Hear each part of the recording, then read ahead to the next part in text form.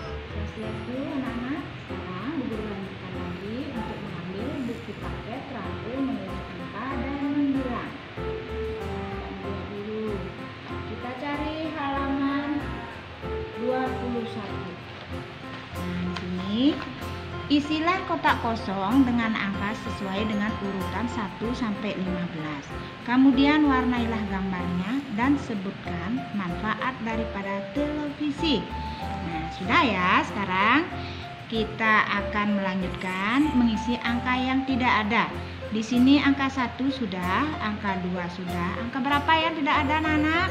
Angka 3. Habis angka 3, angka 4. Nah, angka 5 sudah. Sekarang setelah angka 5 angka berapa? Angka 6. Habis angka 6, 7. Di sini angka 8 sudah ada. Habis angka 8, angka 9 dan angka 10 ya. Setelah angka 10, sekarang angka berapa? Karena di sini kosong, kita buat angka 11. Habis 11, 12. Habis 12, 13. Ini sudah angka 14 ada. Sekarang yang terakhir adalah angka 15. Sekarang eh, apa namanya tuh manfaat daripada televisi itu apa?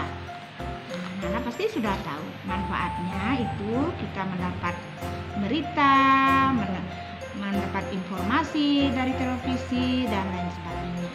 Ya, silakan anak-anak eh, bekerja di rumah dan berlatih. Terima kasih ya.